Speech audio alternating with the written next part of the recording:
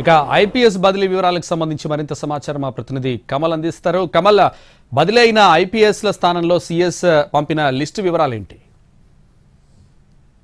కేంద్ర ఎన్నికల సంఘం ఆదేశాలతో ఎన్నికల విధులకు దూరంగా ఉన్నటువంటి ముగ్గురు పోలీస్ కమిషనరేట్లకు సంబంధించినటువంటి కమిషనర్లతో పాటు పది జిల్లాలకు సంబంధించినటువంటి ఎస్పీలు నాన్ క్యాడర్కి సంబంధించినటువంటి అధికారుల స్థానంలో దాదాపు నాలుగు గంటల పాటు డీజీపీ ఇంటెలిజెన్స్ అధికారులు కసరత్తు చేశారు. ఇంకా ఎవరెవరి పేర్లు సీనియారిటీ ప్రాతిపదికన ఉన్నాయన్నది కూడా ఆ పేర్లన్నింటిని కూడా కేంద్ర ఎన్నికల సంఘానికి సిఎస్ ద్వారా పంపించడం జరిగింది. ప్రధానంగా మనకున్నటువంటి సమాచారం మేరకు సీనియారిటీ ప్రాతిపదికన పంపించకుంటే మళ్ళీ కేంద్ర ఎన్నికల సంఘం అభ్యంతరాలు వ్యక్తం చేసే అవకాశం ఉంటుంది కాబట్టి సీనియారిటీ ప్రాతిపదికన ఐపీఎస్గా ఉన్నటువంటి ఎవరైతే కమిషనర్లుగా ఎలిజిబిలిటీ ఉన్నారో కొత్తకోట శ్రీనివాస్ రెడ్డి శివధర్ రెడ్డి తర్వాత అభిలాష్ బిస్త్ శిఖా గోయల్ వివి శ్రీనివాసరావు ఆ తర్వాత మహేష్ భగవత్ వివి సజ్జనార్.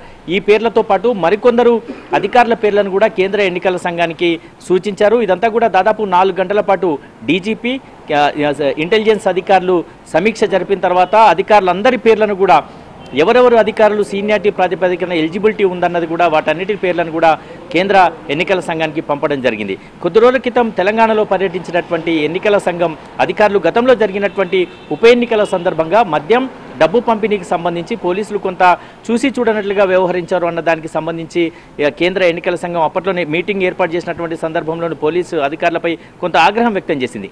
ఈ నేపథ్యంలో తెలంగాణకు సంబంధించినంత వరకు ఎన్నికల ప్రకటన విడుదలైనటువంటి మరుక్షణమే పోలీస్ శాఖలో బదిలీలు పోలీస్ శాఖకు సంబంధించి ఉన్నతాధికారులు హైదరాబాద్ కమిషనర్ లాంటి కీలక స్థాయి అధికారిని కూడా ఎన్నికలకు దూరంగా ఉంచడంతో కొంత చర్చనీయాంశమైంది.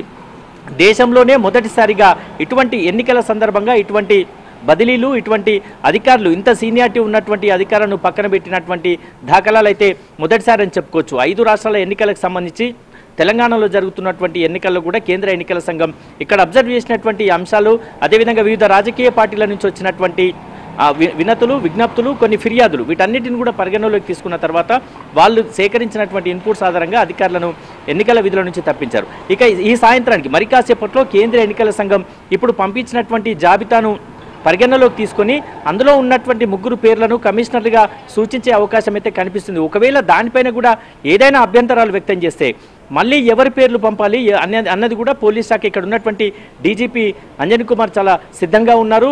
ఒకవేళ ఇప్పుడు పంపినటువంటి పేర్లనే సీనియారిటీ ప్రాతిపదికన ఖచ్చితంగా ఎన్నికల సంఘం ఆమోదిస్తుందన్నటువంటి ఆశాభావమే డీజీపీతో పాటు ఇంటెలిజెన్స్ అధికారులు సిఎస్ ద్వారా కేంద్ర ఎన్నికల సంఘానికి పంపించడం జరిగింది. వాళ్ళు కూడా ఇదే ఆశాభావం వ్యక్తం చేస్తున్నారు.